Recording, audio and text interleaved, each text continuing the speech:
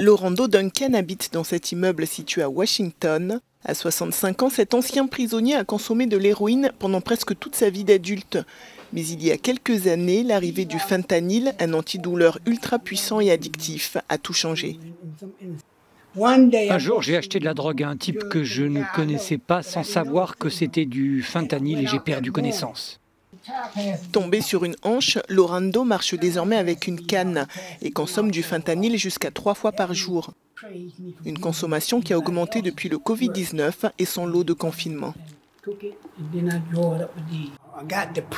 J'ai beaucoup déprimé et la seule chose qui peut m'aider à surmonter cette dépression, c'est la drogue. Je consomme en quelque sorte pour tuer la dépression, mais ce n'est qu'une illusion. En 2021, Washington a connu 426 overdoses fatales par opiacés, soit 5 fois plus qu'en 2014 et bien plus que les morts par arme à feu. Cette année-là, 95% des décès étaient liés au fentanyl et 85% des victimes étaient des personnes noires. Le fentanyl a tué beaucoup de mes amis. Presque toutes les deux semaines, j'entends parler d'une overdose de fentanyl. Il faut que j'arrête. Je sais que je dois arrêter parce que je vais finir par me tuer. Pour aider ceux qui veulent s'en sortir et combattre les ravages du fentanyl, quelques associations de terrain existent. Tyrone Pickney, 33 ans, travaille depuis 10 ans pour l'une d'entre elles.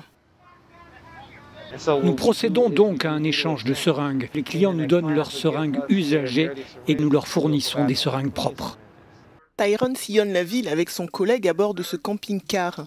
À l'intérieur, notamment des cartons de naloxone, un antidote capable de bloquer l'effet des opiacés et ainsi sauver une personne en train de faire une overdose. Depuis l'arrivée du fentanyl, nous avons constaté une nette augmentation des overdoses. L'association a aidé plus de 2500 personnes en 2021. De son côté, la mairie réfléchit à une salle d'injection comme celle récemment mise en place à New York.